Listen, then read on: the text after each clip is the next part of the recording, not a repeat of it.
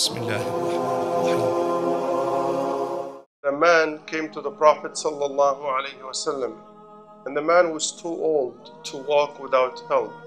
So he was walking with the help of a cane. And he came to the Prophet sallallahu alaihi wasallam and he said, Prophet of Allah, I have committed so many sins, so much so that if my sins were to be distributed amongst mankind, it will destroy them. I have never left any sin, whether minor or major, but I have committed. If I were to go back to Allah subhanahu wa ta'ala, would Allah accept me? And the Prophet sallallahu alayhi wasallam looked at the man and he said, Do you bear witness that there is no God worthy of worship but Allah?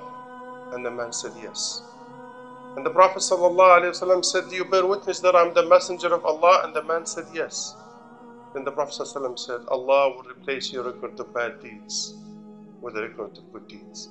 The man said, وَغَدَرَاتِ وَفَجَرَاتِ I have committed so many treacheries. I have betrayed Allah subhanahu wa ta'ala. I have committed so many major sins. And the Prophet ﷺ said, Allah will forgive your sins.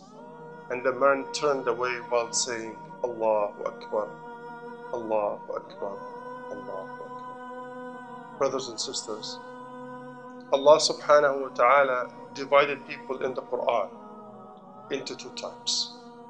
There's no third.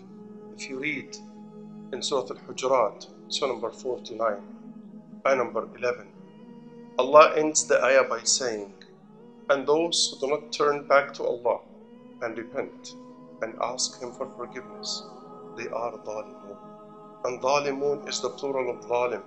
And dhulm, the stem of the word means oppression and injustice. What's the meaning of tawbah? Taba in the Arabic language means aada.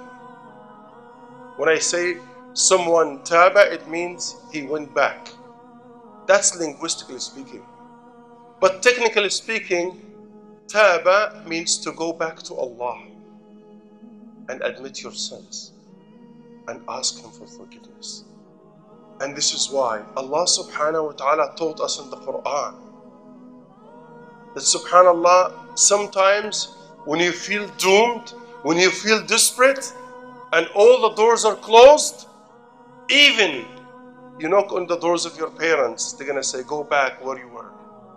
Your brothers, your sisters, there is one door that's open 24 7. And Allah subhanahu wa ta'ala said in Surah Al Dariyat, Surah number 51, if there is no result, if there is no door open, the door of Allah is open 24 7. Go back to Him. He will welcome you anytime. And this is why Allah subhanahu wa ta'ala commanded us in the ayah that I shared previously in Surah Al-Hujurat, Surah number 49 and number 11, He said, وَمَن لَمْ يَتُبْ فَأُولَٰئِكَ هُمُ الظَّالِمُونَ You have the choice to go back to Allah at any time. But if you don't do this, you are oppressing none but yourself. Because Allah Allah who is a samad, and a samad in the Arabic language means He's the one to whom all the creation resort at times of need, and He needs none of His creation. So He's waiting for you to go back to Him, even though He doesn't need you. But He is Ar Rahman, the exceedingly merciful, the unimaginably merciful, the incredibly merciful, the immediately merciful. Once you go back to Him, He'll forgive all of your sins. That's the meaning of tawbah. To go back to Allah, acknowledge your sins, and He will accept you. So now we answer the second question. Who should make tawbah? Everyone, even the believers. It has to be tawbah to Allah. It has to be sincere so that you get the fruit of tawbah, which is success in this life and the life to come.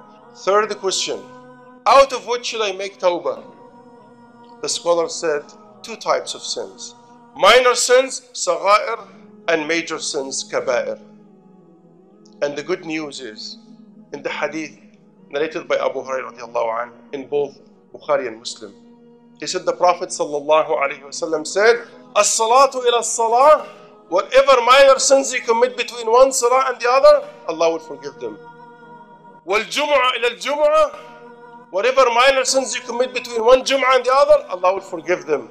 ورمضان إلى رمضان كفارة لما بينهم ما لم تخشى الكبائر whatever sins that are minor that you commit between one Ramadan and the other Ramadan Allah will forgive them as long as you stay away from major sins the second type of sins are the major sins and you can simply know them when you read the Quran when you read the Hadith and you find Allah subhanahu wa ta'ala is always threatening that there is a punishment or Allah will be angry these are major sins. There are many of them that we take lightly and we think that they are minor sins. Many of them we commit on a daily basis.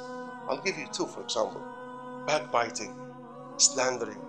When we have free time, that's what we do. People will step out of the masjid after a powerful khutbah and they're going to be talking about someone. Look at this brother. Look what he's doing. Look at the way he's dressed.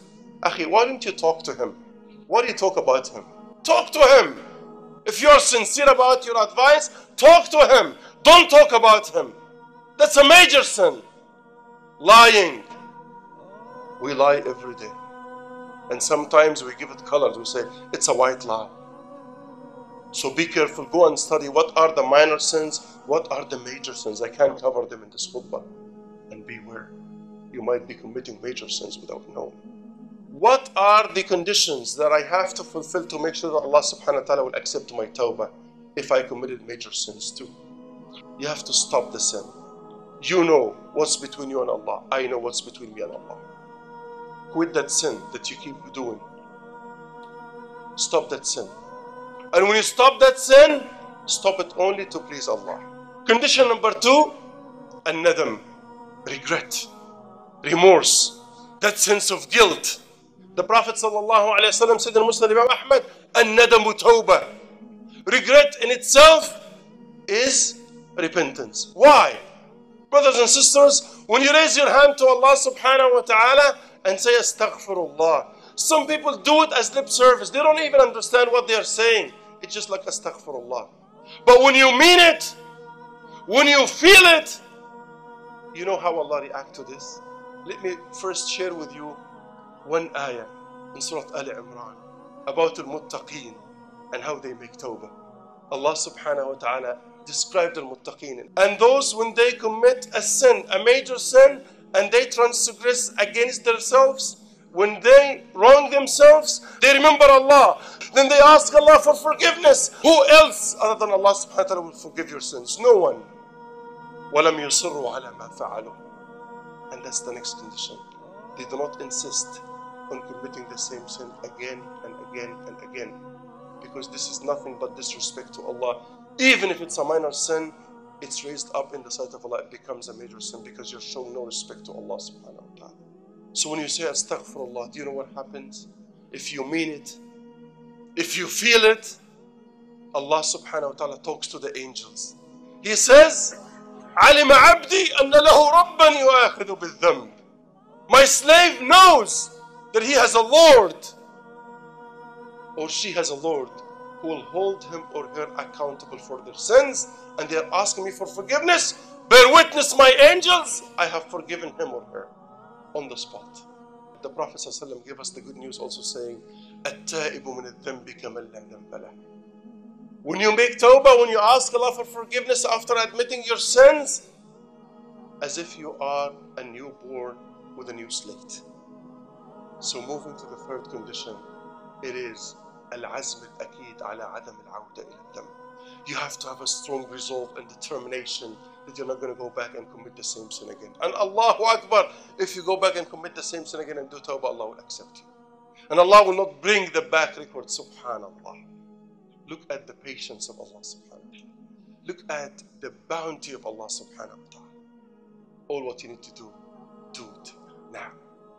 Moving to the last condition, which is relating to the human beings, it's called al Madalim Wastibra al meaning restitution of rights and seeking people's forgiveness. Because Allah will forgive when it comes to, to His rights, but Allah will never forgive when it comes to the rights of people. People have to forgive you. If you have taken anything from anyone, give it back in this life. Because if they don't forgive you in the akhirah, they will take your good deeds. And even if you are about to enter Jannah, you'll be taken back and go to Hellfire. And rights are two types it's something tangible, something concrete that you can touch and see, and something abstract. So if it's money, if it's land, anything, give it back. If you backbited someone, if you slandered someone, go and ask them to forgive you. And if these people are not here anymore and you can't give them the rights back, do lots of istighfar, do lots of nawafil, and give sadaqah. That's what the scholar said. Give charity in their name. The last thing that I wanted to mention is what type of tawbah does Allah expect from us? I wouldn't say Allah wants or needs. Allah is in no need of us. But what type of tawbah does Allah expect from us? And the answer comes from the Quran in Surah Al-Tahrim, Surah number 66, ayah number 8. Allah subhanahu wa ta'ala is calling upon you and I want you to listen carefully. Because when Allah says, Ya ayyuha amanu, He's calling you. You should feel so special. Allah cares about you. As you choose to believe, Allah is giving you the honor, He's calling you. And this ayah says, Oh, you who believe, go back to Allah. Admit your sins. Ask Him for forgiveness. What type of tawbah, oh Allah, do you expect from us? He said, توبة نصوحة. In Arabic, when we say نصحت العسل, إذا نقيته من جميع الشوائب. So Allah said, توبة نصوحة. When you say, I purify honey, it means you purify honey from any residue, from any waste. It becomes very pure. As if Allah is saying, purify your intention when you make tawbah. It's only for me. It's only to please Allah. No one, nothing else should be in your intention when you turn back to Allah in repentance. Prophet wasallam said, on the day of judgment, Allah subhanahu wa ta'ala will bring each and every one of us in front of Him individually, and He will cover you so that you will not be embarrassed in front of people. And He will remind you, My slave, do you remember that sin that day? And He will say, Yes, Allah. And He will keep reminding you, Do you remember that sin that day? Do you remember that sin that day? Do you remember that sin that day? And you keep saying, Yes, yes, yes, Allah, until you feel you're doomed. You're going to hellfire. Then Allah subhanahu wa ta'ala is going to say, I have never embarrassed you in the dunya, and today I will forgive you. Allah. If this is what Allah is preparing for us on the day of judgment, what have we prepared for that meeting with Allah? Allah is willing to forgive all of your sins. Are you willing to admit your sins between yourself and Allah today? And ask Him, ask Him.